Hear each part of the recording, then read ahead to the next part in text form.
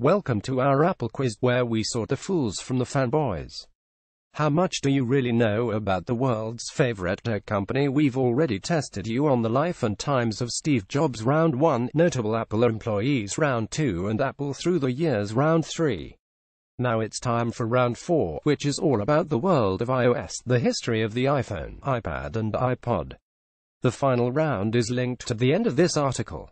Good luck. Q1 What software did PC owners use to manage iPods before iTunes? Q2 How many versions of the iPhone have been released? Q3 What two things did Steve Jobs say an Apple tablet must lack? Q4 How many songs did Apple offer with the US launch of the iTunes Music Store in 2003? Q5 What's the connection between an apartment sold by Jobs and Apple's 2004 iPods? Q6 What did Jobs say users would need in order to use tablets with screens less than 10 inches? Q Q7 at launch in 2008. How many apps were available to download from the iTunes App Store? Q8 In what year was Apple first able to offer iTunes songs DRM free? Q9 Which classic rock band famously and finally allowed the back catalog to appear on iTunes in 2012? Q10 What was the 25 billionth song to be downloaded from iTunes in February 2013? Apple Quiz Round 4. The answers Q1 What software did PC owners use with iPods before iTunes Musicmatch In 2002, Apple launched an iPod for Windows with Musicmatch software to help manage users' music library and transfer files. It was abandoned the following year when iTunes for Windows was introduced. Q2 How many versions of the iPhone have been released as of Christmas 2017? There have been 17, by our count, but we would also allow the answer 13, if you not unreasonably think the Plus models should NT count as separate. The iPhone was announced in January 2007 and launched the following June.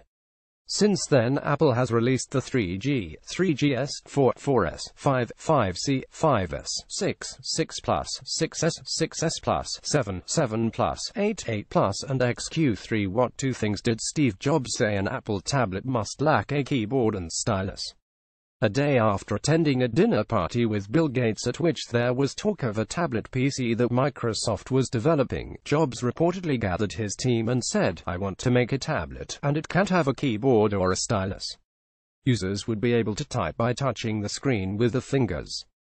Q4 How many songs did Apple offer at the US launch of the iTunes Music Store in 2003? There were 200,000. Have a point if you're within 50,000. As of 2017, there are more than 35 million. Q5 What's the connection between an apartment sold by Jobs and Apple's 2004 iPods U2? In 2004, Jobs sold his New York apartment to U2 singer Bono for $15 million, and Apple introduced the iPod U2 Special Edition.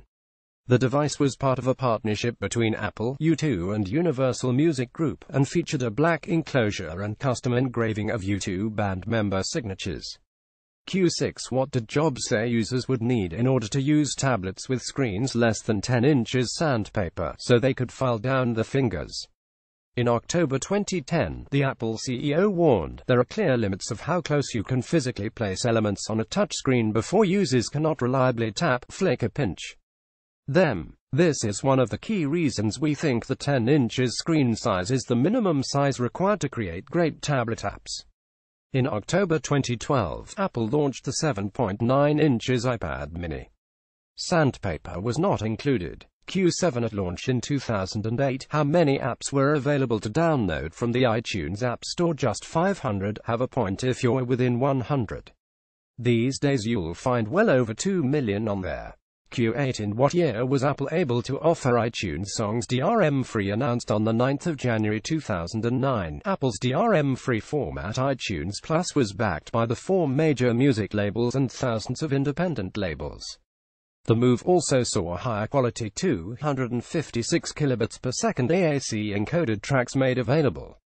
Q9 Which classic rock band allowed the back catalog to appear on iTunes in 2012 AC/DC's entire back catalog, including 16 studio albums and 4 live albums, were made available digitally for the first time exclusively on the iTunes Store in November 2012.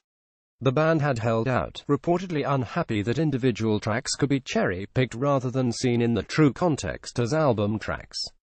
Q10 What was the 25 billionth song to be downloaded from iTunes in February 2013 Monkey Drums Goksel Vancin remix by Chase Buch.